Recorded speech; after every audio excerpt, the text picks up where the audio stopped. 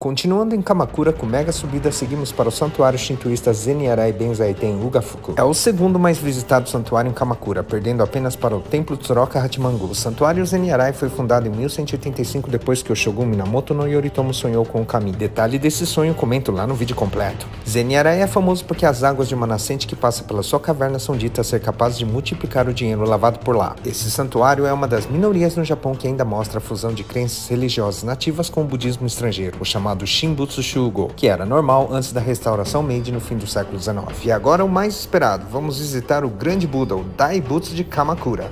O Grande Buda tem 11,3 metros de altura e pesa 121 toneladas. É uma estátua de bronze de Amida Buda, sendo a segunda mais alta do Japão, perdendo apenas para o Daibutsu de Todaijin Nara. E assim já é noite voltamos para a grande movimentada Tóquio, com direito até alguns mimos. Olha que delícia. Veja a história completa lá no YouTube. Nos vemos lá!